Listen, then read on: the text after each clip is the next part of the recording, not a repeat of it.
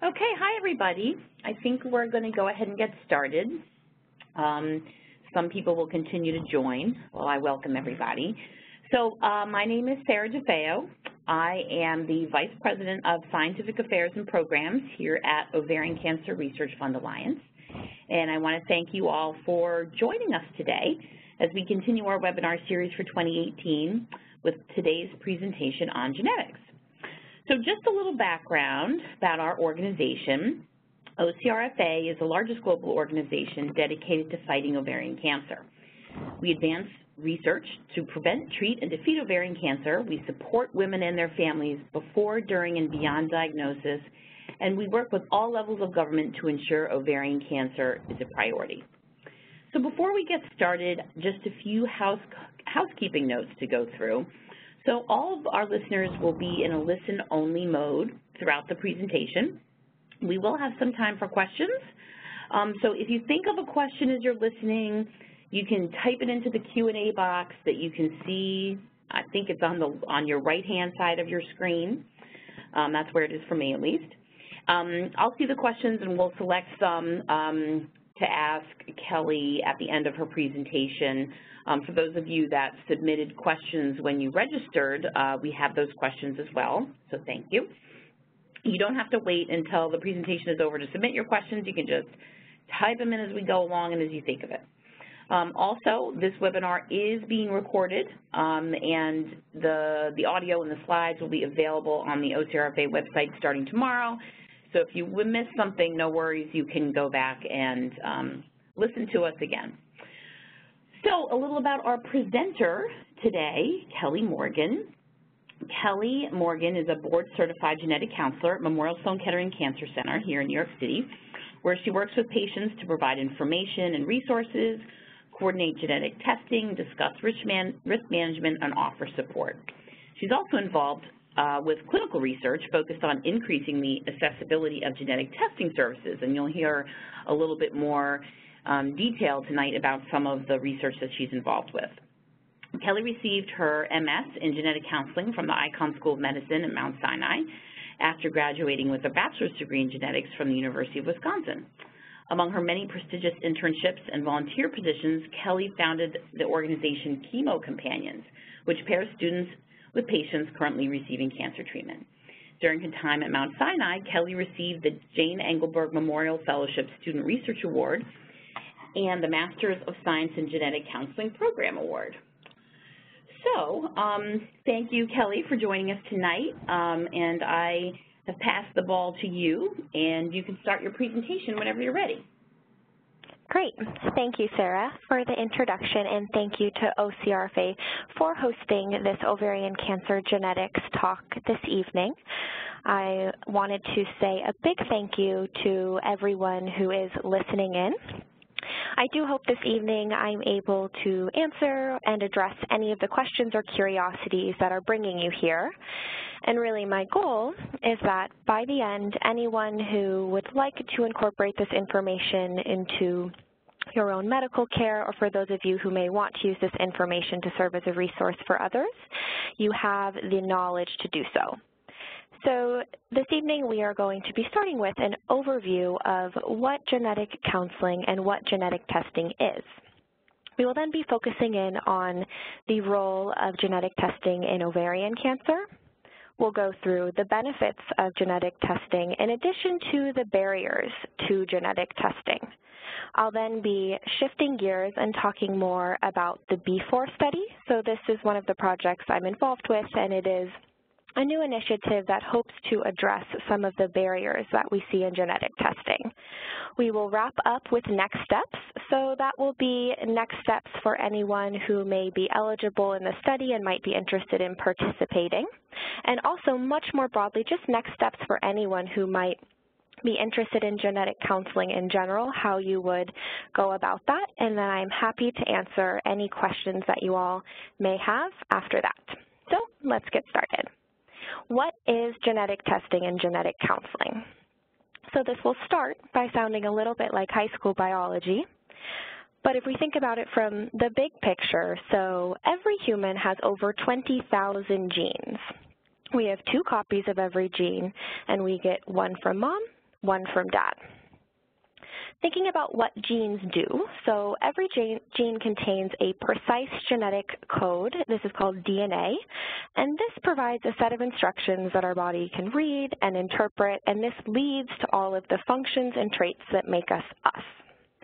So when this DNA code has a change that prevents the instructions from being understood, we call this a mutation and there can be consequences. So certain genes protect us from developing cancer. When there is a mutation in one of these genes, individuals can be at an increased risk to develop certain cancers. So that is where cancer genetic testing comes into play. So genetic testing in this setting can identify mutations so that people can understand their risks and importantly how to manage these risks and that is best done in consultation with a healthcare professional. So an example of one of those healthcare professionals would be a genetic counselor. So genetic counselors are trained to facilitate genetic testing by providing both information and support. In terms of the steps that would be required from start to finish, so the first is, of course, making an appointment. Um, some patients are referred by their physicians to genetic counseling, while others do initiate this process themselves, so this can certainly be through self-referral. So in preparation for a genetic counseling visit, it's important to compile all of the available family history information that you have in addition to any relevant medical records at a genetic counseling visit, you'll review all of this information with your genetic counselor, and then based on that, you would discuss any genetic testing options that would be relevant and applicable to you. So if someone proceeds with genetic testing, it in and of itself is a simple blood test. Sometimes other samples like saliva can also be used. Ultimately, genetic testing does take some time, so it takes about one month for the results to come back. That's on average. Um, but once they are back, you do review all of this information with your genetic counselor, whether the results is positive or negative or something in between, what that means, and then what the next steps would be for both you and your family members. So focusing into the role of genetic testing in ovarian cancer, Generally speaking, if we look at all cancers together, about 10% of cancers are hereditary or due to a genetic mutation that can be inherited or passed on. So that means the remaining 90% are what we think of as sporadic or just arising by chance. When we look at ovarian cancer specifically, that rate is a little bit higher. So actually about a quarter of ovarian cancers are due to a genetic mutation. So you can see that ovarian cancers are somewhat more likely to be genetic in nature as opposed to some other cancers thinking about which genes are associated with ovarian cancer. So you can see the list up here of at least the genes we know about today. And what's really important to emphasize in this is that our knowledge is always evolving. So this looks, list looks different today than it did five years ago, and it very well could look different five years from now. So if a person has had genetic testing in the past, it is important to check in with your providers for updates, see if our understanding has changed and see if there is more to offer because we certainly are always learning. Today, genetic testing is recommended for anyone who has been diagnosed with ovarian cancer or their close relatives, that's if these family members are unavailable for testing. So these individuals would meet with a genetic counselor and have this individualized hereditary risk assessment. So this is going to include which genes should be included on a given genetic test. And outside of the scope of today, but I will just mention, anyone who has a personal or family history of other cancers should absolutely still speak with your provider, your genetic counselor, if you have any concerns and might want to consider genetic counseling. So I think it goes without saying that it can be incredibly difficult to think about sitting down to have a conversation about potential cancer risks. So I do want to emphasize the benefits of going through this process. We'll start by talking about prevention and risk management, and I think this is perhaps the most important part of the entire presentation. So understanding that to date there has unfortunately been no screening that has proven effective to reliably detect ovarian cancers from an early and treatable stage. So this means that unfortunately many ovarian cancers are diagnosed at a later and a more difficult to treat stage. So women who are at an increased risk to develop ovarian cancer are medically advised to have their ovaries and fallopian tubes removed. So this is a risk-reducing procedure before a cancer develops. It's laparoscopic, which means it's minimally invasive and usually a day procedure, and it can be truly life-saving. Depending on the gene that is identified, individuals who test positive may also be at a risk for other cancers, which could be either also prevented or in some cases screening is also an option. And so ultimately, if and when an ovarian surgery is recommended is very dependent on someone's family history and the genetic testing results. The other area where this information is becoming increasingly important is in the world of targeted treatment, which I think is a very exciting area. So as an example, PARP inhibitors are a class of drugs that are now approved as a potential therapy option for women who are BRCA positive with ovarian cancer. They are also approved in other BRCA positive individuals with different cancer diagnoses, but important to understand that this isn't an option that is used for everyone or right for everyone, but it certainly is good to have as something that could be used. Now, I would like to focus on the BRCA1 and BRCA2 genes. So these genes are the most common hereditary cause of ovarian cancer. So around 15% of ovarian cancers are due to mutations in the BRCA genes. So this does mean that there are the remaining 5 to 10% of ovarian cancers that are hereditary and are due to mutations in other genes. So thinking about that list we had up on the previous slide, so while we are focusing on BRCA today, these other genes are equally important in someone's hereditary cancer risk assessment and absolutely would be considered in a genetic counseling, genetic testing setting. So starting with a couple of numbers for BRCA. So anyone could have a BRCA mutation. The frequency is about one in every 400 individuals. And I would like to point out that in individuals of Ashkenazi Jewish ancestry, that frequency is increased by about tenfold. So one in every 40 individuals of Ashkenazi Jewish ancestry actually carries a BRCA mutation. One important distinction to point out is that in the general population, the mutation in a family could be one of hundreds of possible mutations, so anywhere throughout these genes. Whereas in the Ashkenazi Jewish population, there are specifically three mutations. You can think of them as hotspots that make up over 90% of the possible mutations that someone who's Ashkenazi Jewish would carry. And so these encompass a lot of, but not all of, someone's hereditary risk if they're Ashkenazi. So often, if someone is Ashkenazi Jewish, the first line test is to look at those three spots in the genes. And if that is negative, depending on personal or family history, sometimes more testing is offered. And so I point that out in particular because we will circle back to it later on in the presentation. So now to walk through BRCA as an example of cancer risks and medical management, starting with ovarian cancer. So we know that in the general population, ovarian cancer is quite rare. There's about a 1.5% risk um, of over your lifetime, and we know that in the setting of BRCA, that risk is greatly increased to up to about 40 to 60 percent. So because of this risk, it is recommended that women have their ovaries and fallopian tubes removed after childbearing is complete.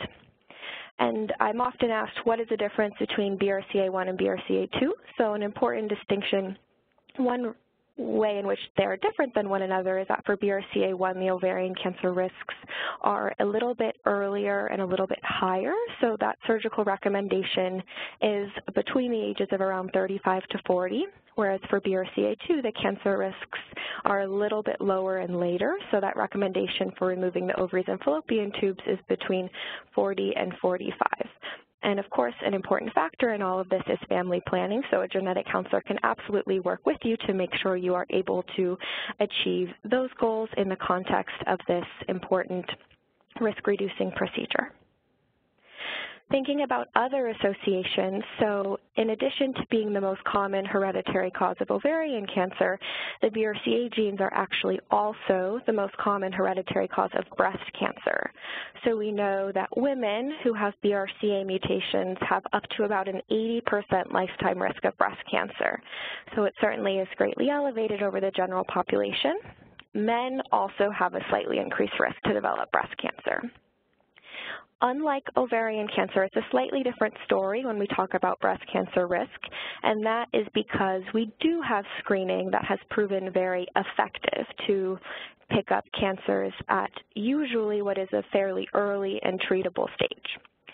So someone who has a BRCA mutation to manage their breast cancer risk has options. So option one is to do breast screening, which is from the age of 25 MRIs once a year, and then adding in mammograms at the age of 30. The other option is to have a risk-reducing surgery, so removing the breasts or a mastectomy. And so it is very much so a personal choice, and I just want to emphasize that choice because of the efficacy of screening in this setting thinking about other cancer risks. So in addition to there being a small male breast cancer risk, there is also a significantly increased risk of prostate cancer for men who carry BRCA mutations. So it is important for men to know their BRCA status. It informs the age at which they're recommended to start prostate screening. We also know that prostate cancers can be more aggressive with BRCA mutations, so it is important from a treatment perspective as well. Lastly, there is a fairly small association between pancreatic cancer and BRCA mutations. I will say that we are still learning about what factors may predispose one family as compared to another to develop pancreatic cancer, and research is also ongoing to better understand how we can potentially screen for this small risk. So we've talked about BRCA and know that we very well could have this same discussion for all of these ovarian cancer genes on our list. So in the spirit of keeping things moving, we are going to um, move on to the barriers so that I can make sure to answer any questions you all have in the end. And so now my question here is, wondering if everyone with a personal or family history of ovarian cancer is offered genetic testing. We know that it is medically indicated and can be potentially life-saving. Unfortunately, the answer is no. So the minority of women and families with a personal or family history of ovarian cancer actually go through with genetic testing. And so I want to explore that a little bit further. So Next, we are going to talk through the different barriers that can come up when we think about genetic testing for patients and family members. We'll walk through this sort of potential process from start to finish, but I'll first just say genetic testing does not have to start with someone who has had an ovarian cancer diagnosis, but it is most informative to start with this person if they're available. If they are not, absolutely, family members should still go in and be tested. So thinking about this flow from start to finish, someone has had an ovarian cancer diagnosis and is undergoing treatment. The first step has to be that initial referral, so getting these patients in to see a genetic counselor. This person could choose to move forward with their own genetic testing. If a genetic mutation is identified, it's important to then communicate this information to the family, and then these family members, once they're told about the risk, can go in for their own genetic counseling visits, and then could choose to move forward with genetic testing. So as you can see, that's a lot of different steps. So there are a lot of potential barriers that can come up in all of this. And some of you may find yourself at different points along this path. So I think it is important to bring awareness to some of these barriers so that they can be both addressed and overcome. Starting with that initial referral. So how often are women with ovarian cancer actually referred to genetic counseling? Only about 10 to 30 percent of women who have been diagnosed with an ovarian cancer are referred. So this is by far the most common reason for lack of genetic testing.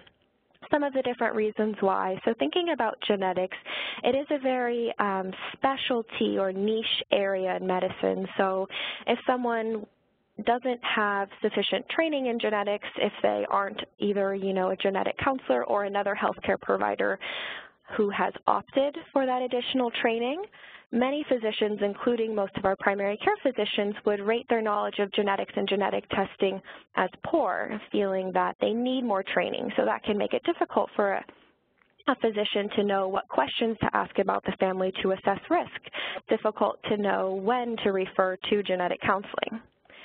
And then on top of that, another layer is that even for physicians who may be more aware um, from a genetics perspective, many physicians don't know how to actually ref refer to a genetic counselor or aren't in contact with these providers to facilitate genetic counseling and genetic testing for their patients. So thinking about some potential solutions, so genetic counselors and other genetics providers can absolutely develop tools as resources for other healthcare professionals to increase knowledge, understanding, and awareness of genetic testing services. I will also say that as a patient, you can absolutely take this information into your own hands to self-refer yourself to genetic counseling once you're aware of the potential risks in your family. So thinking about if someone has gone through with genetic testing and a genetic mutation is identified, how does this play out in the family? So we know that and we're encouraged to see that genetic testing results are discussed in about 75% of families. So that rate is fairly high. We would love for it to be 100%, but one of the biggest limitations is that communication is highest with first-degree relatives. So it's easiest to reach your siblings, your children, your parents, and it's more difficult sometimes to have access to more extended relatives, your aunts, uncles, cousins, grandparents, but these relatives are also at a significantly increased risk because of the mutation in their family, and it's important that we find ways to share this information with them some of the reasons for this failure in communication. So first addressing that there is, of course, a stigma surrounding cancer and there can be a fear of causing distress. So if you've just learned about your own cancer risks, it can feel overwhelming to think about how you may have that conversation with family members. So then another layer is thinking about family dynamics. If family dynamics are are more challenging if cancer diagnoses is not something that is discussed in the family. And then there's simply lack of contact. So maybe you haven't seen your cousin since that family reunion 15 years ago. It's hard for you to think about how you, you know, might be able to reach them. So genetic counselors can absolutely play a role here. So we can work with people to assist in this familial communication. So addressing the stigmas, any fears, thinking about how we can um, confront more challenging family dynamics, and then also getting creative. So things like lack of contact, how can we you know, think about reaching those distant cousins. Can we send a letter in the mail, and how can we reach as many people as we can so that people are aware of this potentially life-saving information? So imagining that someone has been informed that there is a genetic mutation in their family, how often are people to then proceed with genetic counseling. So only about one-third to two-thirds percent, two-thirds of individuals actually proceed with genetic counseling even when there's a known mutation in the family. So this is the second largest factor in lack of genetic testing. So the reasons why I think can be broadly divided into logistical and psychological. So logistically speaking, access to genetic counselors, unfortunately there are only about 4,500 genetic counselors as opposed to over 300,000 primary care physicians just for scale. Um, what that can lead to is barriers such as travel distance. So perhaps the closest genetic counselor to you is a, an hour drive away, or the wait time to get into a clinic may be several weeks to several months. So those are some of the logistical barriers. And so now thinking about the psychological barriers. So thinking about how it could feel distressing to prepare to and to sit down to have a conversation about potential risk. And I think that the logistical barriers can make the psychological barriers even worse. So if someone is having reservations about going in and then they find out that the clinic is an hour away and a two-month wait time, that's going to make you less likely to go in or it's easier to find an out. So I think that researchers should absolutely explore new models of genetic testing that can increase the accessibility and convenience and really address the logistical barriers head-on so that we can have more time and the availability to discuss these psychological barriers in more detail with, with patients once they're into genetic counseling. And then when we look at, so how likely is someone to proceed with genetic counseling or genetic testing after a genetic counseling visit. So that rate is pretty high. It's up to about 90% of individuals. So the reason why we think genetic testing rates are so high, a couple of different reasons. One is thinking about how the education surrounding the actionability of genetic testing can be very empowering to learn about. It's not just these cancer risks we're telling you about, but it's absolutely the medical management that goes along with it. Secondly, some common misconceptions can be clarified during genetic counseling visits. So just to think of a few. So one that we addressed a little bit earlier on, so for breast cancer risk management, some people may think that a breast surgery or removing the breasts is the only option for breast risk, but we know that screening is just as medically viable an option, and it's very much so a personal choice, so introducing choice in that setting. Um, another misconception is that dad's side of the family doesn't matter for these female cancer risks or predominantly female cancer risks. That is certainly not the case because we know that genetic risk is equally likely to come from dad as it is from mom. Ultimately, so once someone understands all of the different options and the risks and benefits of these options, people are fairly likely to move forward with their own genetic testing. So now looking back at this start-to-finish flow of patients and their family members receiving genetic testing, you can see that there could be roadblocks really anywhere along the way, but broadly speaking, the most significant barrier is getting people who are at risk to a genetic counselor. So I think that we absolutely need to make genetic counseling more accessible, and the good news is, is that there's lots of work underway to do that.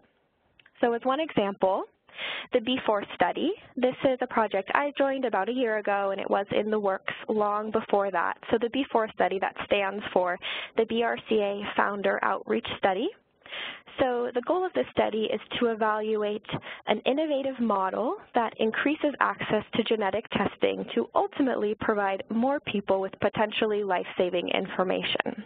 And we'll explain a lot more about that new model thinking about who is eligible for this study. So it's important to emphasize that this study offers testing for those Ashkenazi Jewish founder mutations in the BRCA genes. So if you are not Ashkenazi Jewish, this study in and of itself would not be an informative test for you. So the study started on March 5th, and as of now, we have a little over 1,000 people fully enrolled in the study. The goal is to enroll 4,000 individuals, and the study is open across the metropolitan areas of New York, Boston, Philadelphia, and Los Angeles. So this study is very targeted and specific, but the model that we are testing can be adapted potentially very broadly. So thinking about some potential future iterations on the study or ways that this could be used in many more uh, settings that are applicable to a larger group of people, so one, the study could be expanded geographically, so the same test could be offered on a national basis, for example. And then this, this model could be adapted in terms of the information in the platform and then the genetic test itself, so it could be modified for different populations in addition to more broadly for more genes and more hereditary cancer predispositions. So it is exciting to think about how this study is being implemented and how it has, I think, a lot of future promise for more, more utility and more accessibility.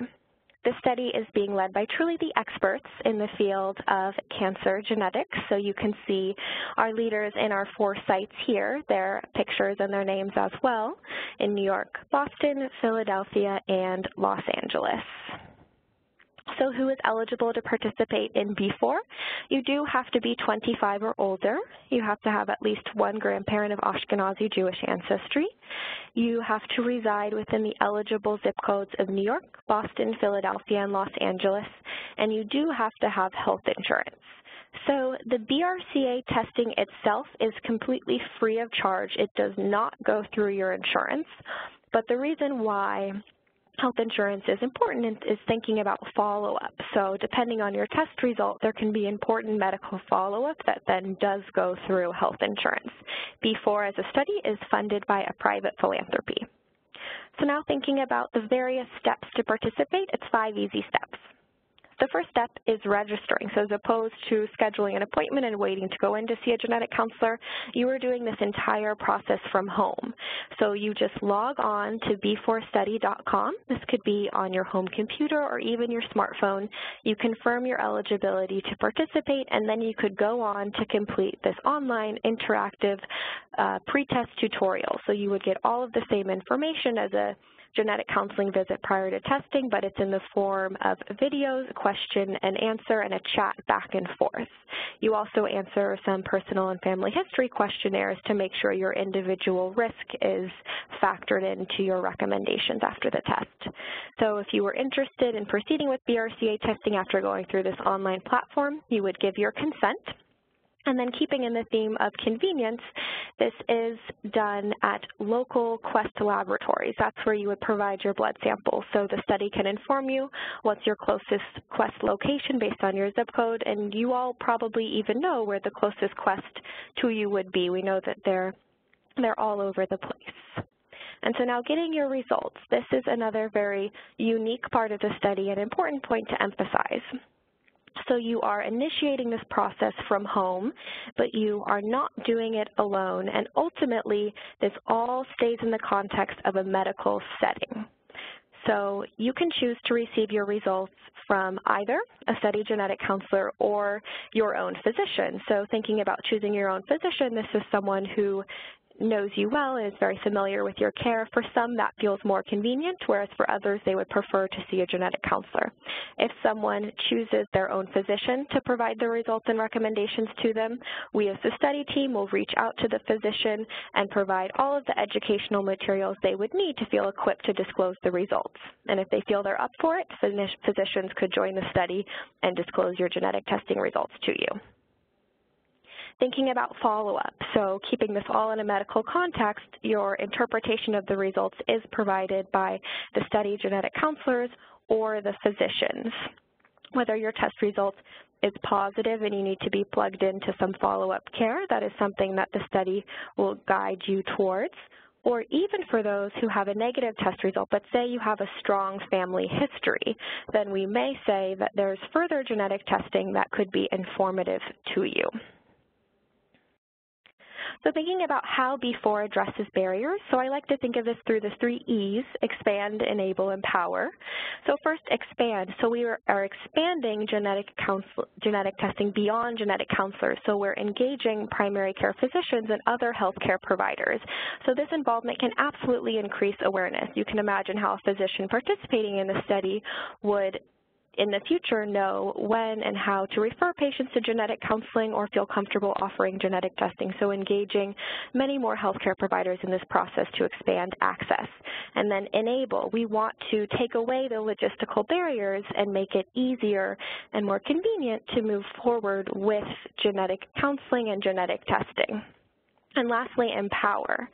So it is not the information, seeing cancer risks on a piece of paper that is informative to you, that's beneficial to you. It's the medical interpretation. So it's critical that we keep this convenience in the medical context. So making sure that you are getting all of the recommendations and the follow-up care that you should so that ultimately you could make a potentially life-saving decision by doing genetic testing in a medical context. So then lastly, thinking about next steps. So first, I wanted to show everyone on the, on the call today what this online portal actually looks like. So you can see here, it starts with a simple hello, and then it more or less looks like texting back and forth. Receiving information, this is all pre-programmed, and you can imagine this is something you can do at a time that's convenient for you after you've put your kids to bed in the evening or on the weekends when you have some free time. And so, if you might be eligible and interested in participating in the BFOR study as a way to have testing for those common Jewish mutations in the BRCA genes, I would absolutely encourage you to visit bforstudy.com for more information and to enroll if you're interested. More broadly speaking, the take-home message is that anyone with a personal or family history of ovarian cancer, even those who have had genetic testing in the past but may be eligible for updates, should absolutely talk to your health healthcare provider or you yourself can visit findageneticcounselor.com I think this is a great tool that can make genetic counseling an even easier process to navigate. So, for example, this website will provide information on what all is involved and required, and it even has a zip code locator. So you can type in your zip code and find what genetic counselors would be in your area or closest to you. So with that, I would like to say thank you for listening, and I would be happy now to answer any questions that you all may have. Great. Kelly, thank you very much. Um, great presentation. So we do have some time for questions, and we've had a bunch that are coming in. Um, again, you all can just type them into the Q&A box uh, there at the bottom of your screen. So to get us started, Kelly, we have had a few questions come in and I, um, that are all kind of alluding to the same issue. Um, and I'm wondering if you can kind of, you alluded to sort of how the landscape of genetic testing is changing over time, right? That the, the list of mutations that um, we had associated with ovarian cancer 10 years ago is not, is not what it was five years ago and is not what it is today. So given that it's changing, how do you recommend people navigate that? So I guess there could be different questions, right? If you had, um, you know, a test 10 years ago, for, um, but it was only limited to the BRCA uh, genes, what would you recommend somebody do? Um, if someone is tested today, how do you recommend, what would you recommend they do five years from now? Um, how do you, I guess this is sort of a general question, but how do you recommend people proceed given the fact that this landscape is changing so rapidly and that there are people who have been tested who are now wondering, well, you know, do I need to be tested again?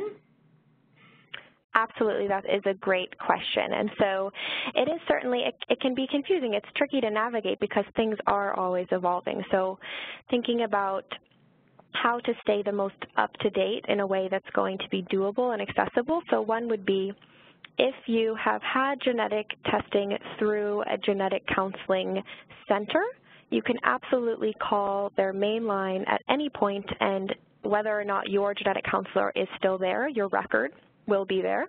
So you can say, I had genetic testing in 2010 or a couple of years ago if you don't quite remember. Is there any updated testing that I should consider? And then they can absolutely look into your file and say, well, it was 2012 and you only had BRCA, absolutely you can come back for an update. You'll sit back down with a genetic counselor. Say you did not initially go through the route of a genetic counselor. You can still reach out to any genetic counselor through, say, findageneticcounselor.com, look up your zip code and call someone who's in a, you know, close distance from you and say, here's my genetic testing results. I don't know what this means, but is this sufficient?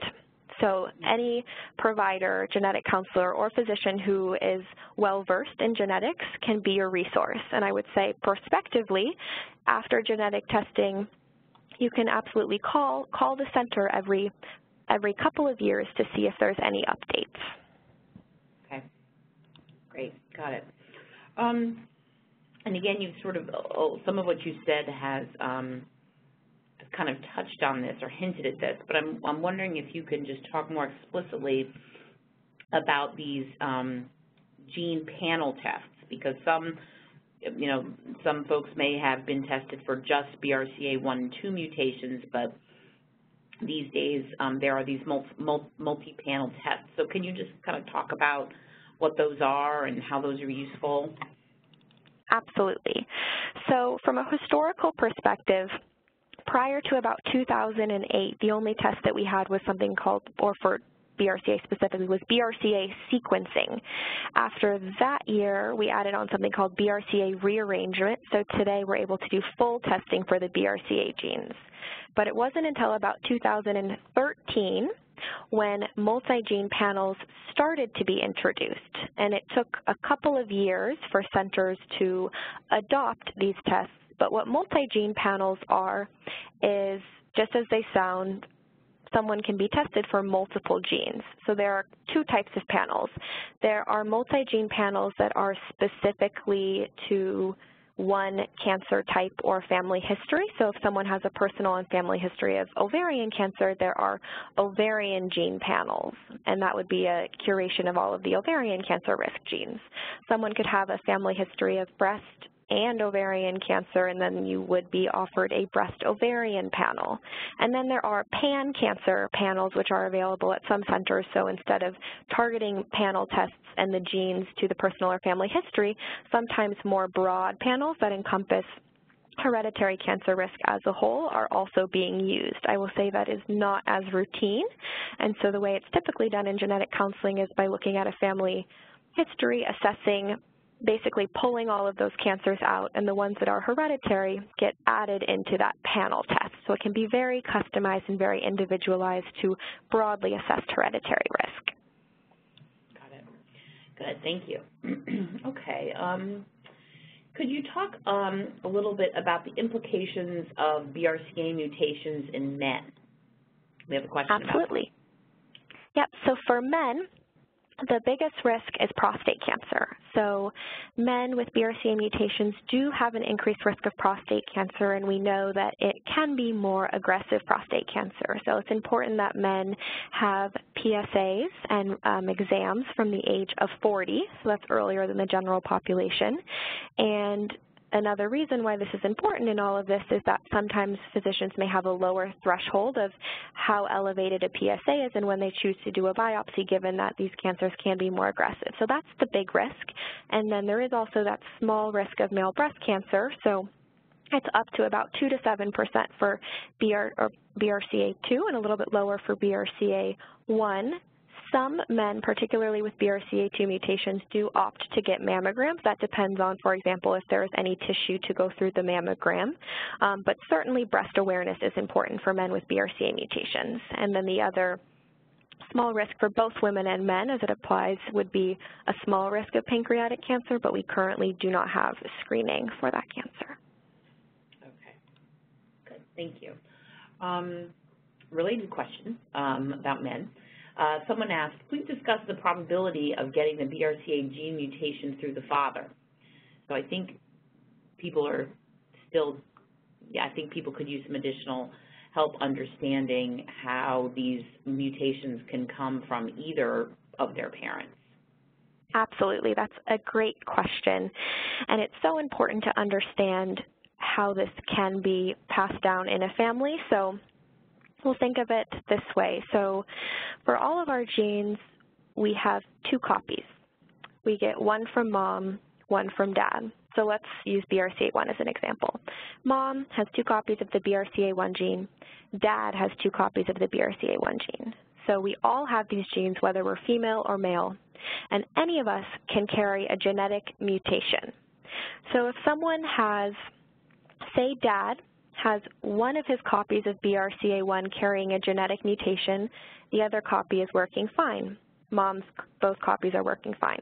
Mom is going to pass down a, a working copy, both of hers work fine.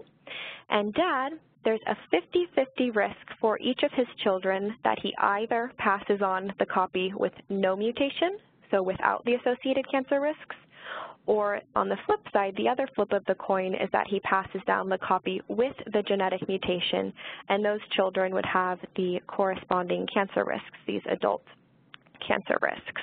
So it doesn't matter if it's mom or dad. If one parent carries a genetic mutation, there's a 50-50 risk that the children do or don't inherit that same genetic mutation. Okay, good, thank you. Mm -hmm. Um, okay, some other questions. Um, is it useful to have genetic testing, BRCA or otherwise, for the child of a parent who had ovarian cancer in the absence of any other family history of ovarian or breast cancer? Good question. So first to say that for BRCA and these other adult onset cancer genes, we do not advise children proceed with genetic testing because there are no childhood cancer risks broadly speaking. And so for BRCA, around the age of 18, when someone's an adult, they could choose to move forward with genetic testing. Often I'll say women may choose to test around 25 because that's the age that medical management changes.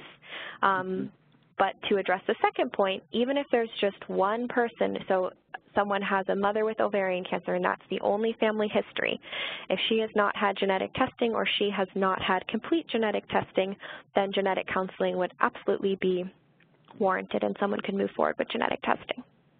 Okay. Um, let's see.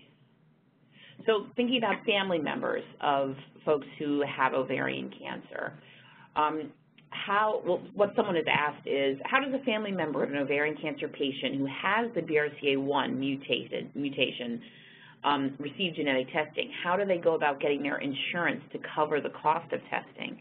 Can you comment a little bit about how that usually plays out if, if a person feels they have a family history, but they themselves do not have cancer? Mm -hmm. And so when we think about ovarian cancer, unlike other cancers where we need particular patterns in a family and ages of diagnoses, usually one close relative with ovarian cancer is enough to be recognized by almost all insurance companies for coverage. I'll also say that genetic counseling and genetic testing are two different expenses. So genetic counseling is, is almost always covered as long as it's a center that takes your insurance. And then genetic testing is something that if you have a close relative with ovarian cancer, or you yourself have had ovarian cancer, it is covered by your insurance in most all cases. Um, the only caveat is that for individuals who have Medicare, they do not cover testing in most cases in someone who has not had their own diagnosis. Um, so that can be something to consider, but absolutely still going to see a genetic counselor because we have many different ways to factor in insurance to the discussion and figure out what the best plan for you will be.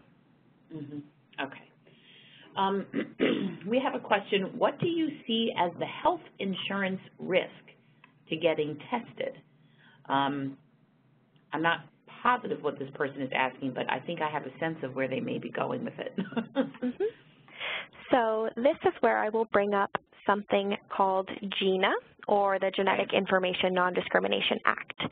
So this is a law that has been put into place to protect any possible genetic discrimination from health insurance or employers.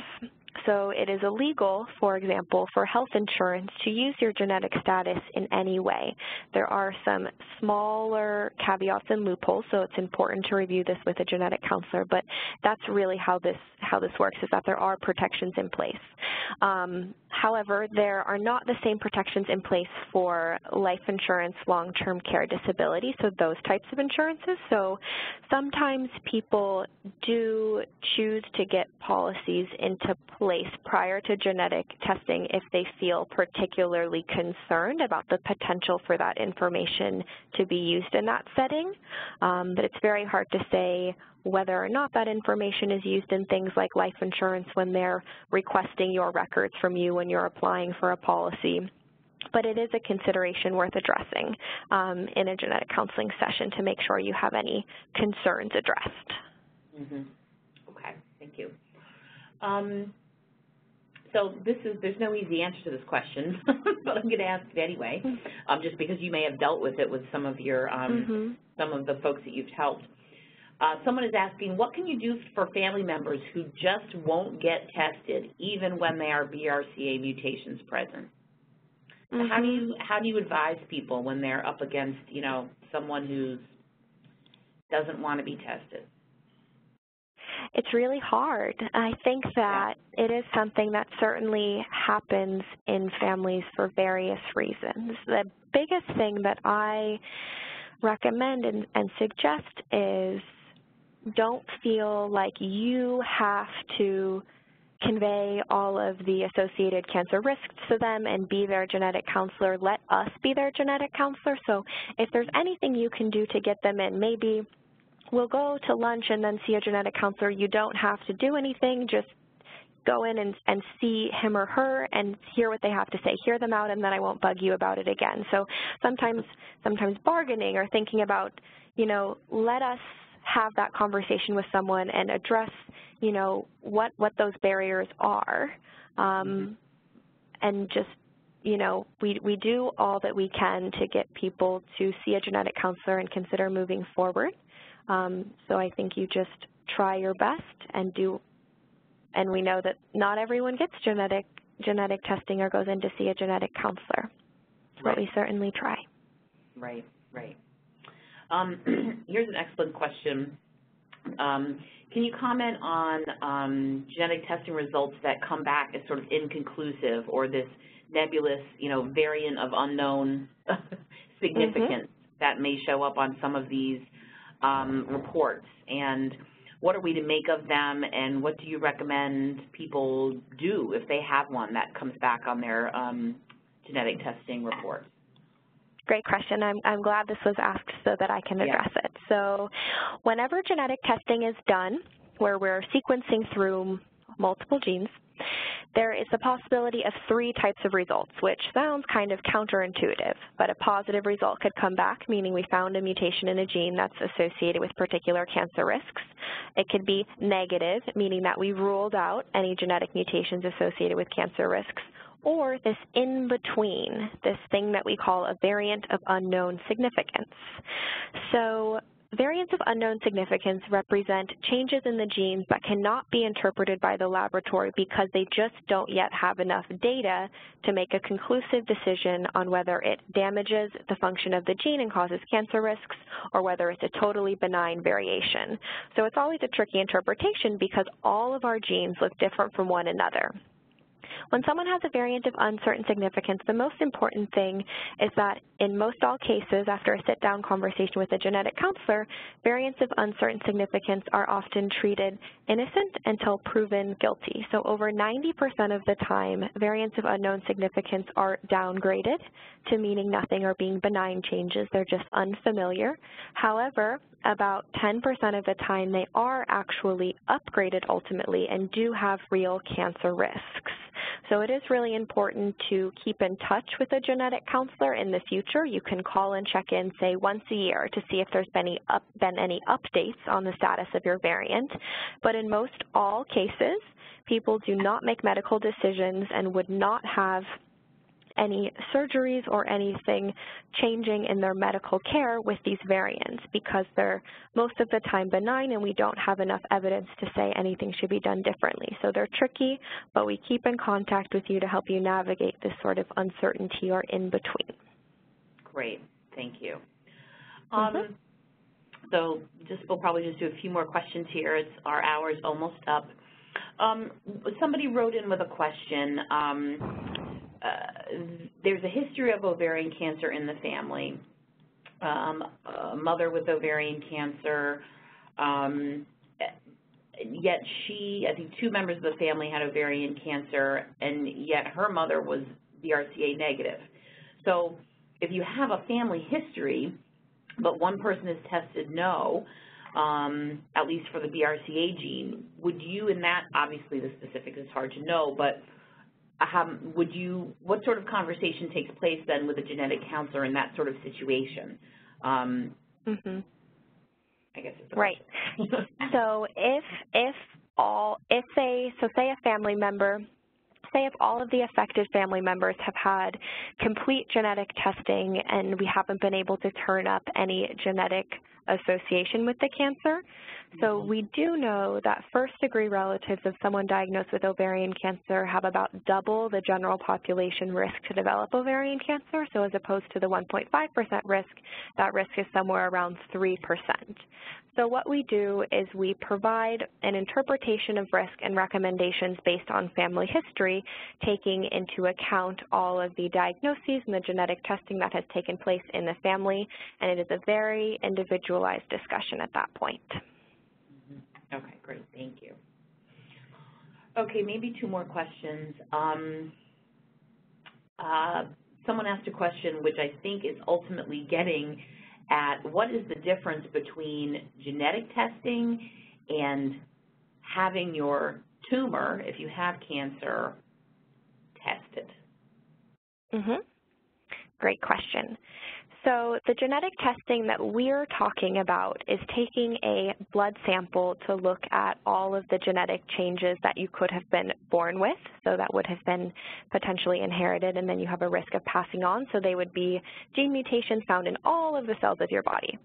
So tumor testing is something that is relevant and applicable primarily to to treatment and understanding the tumor in and of itself. It sometimes does give us clues about potential inherited risk, but really the difference is that in tumor testing we're looking at the tumor specifically to see how the tumor arose and what changes were specific and acquired, whereas for genetic testing of the blood we're looking at more broadly all of the changes you could have been born with. And sometimes those two pieces of information can be used together. Got it. Great. That was very clear. Thank you. Um, okay, last question I think we'll take. Um, this is actually about the BFOR study you were discussing. Um, this person says, you know, just sort of asking, there are sizable populations of Ashkenazi Jews in other parts of the country, say, for example, um, Detroit area, um, Miami, Florida area. Uh, in terms of this, in your specific trial, is there are there plans to expand the geographic areas um, of the trial, or are you just sticking with those cities for now? Yes, that is the hope. So I would say to stay tuned. So our website is going to have those kind of updates. After the study is full, we want to um, continue collecting the information of those who may be interested. So that includes, you know, where you live because we would love to expand this test more broadly and make it something that was beyond these geographical regions in the future. Okay, great. Everybody can stay tuned. Um, okay, our hour is just about up, so I think we will end it there.